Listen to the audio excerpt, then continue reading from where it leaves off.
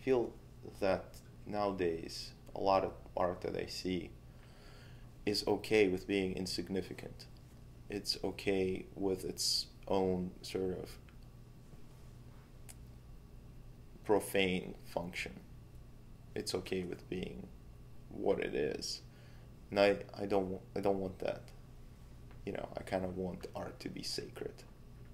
Because I think it is. And it doesn't mean that if you were to use paint on canvas, it makes it sacred.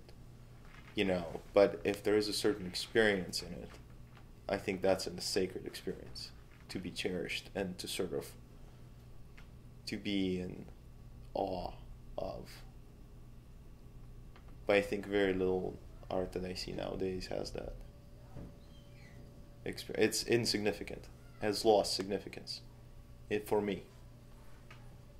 It's kind of um, it's entertaining. It's pleasant to look at.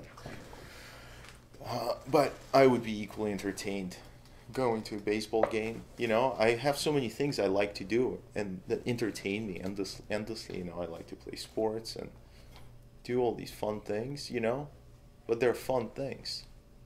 They're things that are insignificant, ultimately. That they're here now, then they disappear. They don't change me. They don't change my relationship to the world.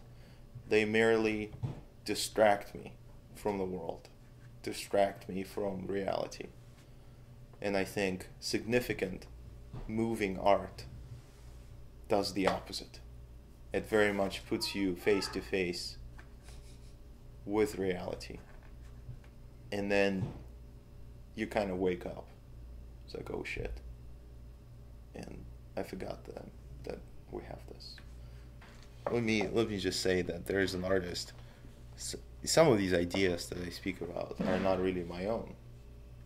And it's not like I came to this present understanding of things just by sitting here contemplating. Um, there's an artist who has affected my view of the world really in a, in a profound way.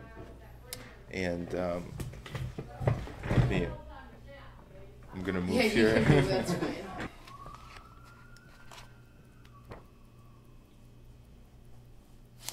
Let me uh, let me read you this. So this is uh, a book uh, written by an artist, Enrique Martinez Celaya, called the blog "Bad Time for Poetry." So this is a record of the blog that he kept for two years, and he's published many many books. Besides the art that he does, he's a he writes. Um, so this little passage is called "Spin Paintings." written on Tuesday, September 16th, 2008. In contrast to the perspective offered by distance, our daily living favors the immediate and the fashionable, and sometimes persuaded by that immediacy as well as by cultural repetition and the desire to seem informed. People praise the artistic merit of dubious artworks, and moral flexibility and status anxiety encouraged encouraged these colorful evaluations.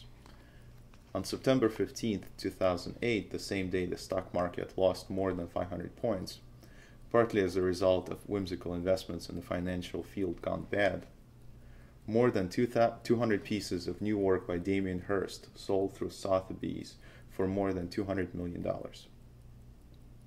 The offering of pickled animals, butterflies, and dots, which were made by the more than 180 people who work for Hirst was the first time an artist used an auction house to sell new work. Hirst's action and its success are part of a larger condition, which Robert Hughes appropriately described in the following way. Where you see Hirst's, you will also see Jeff Koons' balloons, Jean-Michel Basquiat's stone scribbles, Richard Prince's feeble jokes and pin-ups of nurses and inevitably scads of really bad, really late Warhols. Such works of art are bound to hang out together, a uniform message from our fin de siècle decadence. Some of us feel like hypocrites when we call for ambition of spirit and authenticity in the work of art, knowing we don't ask for the same in our own lives. And so we learn to accept trivial and cowardly gestures as significant and brave because in them we sense our own failings.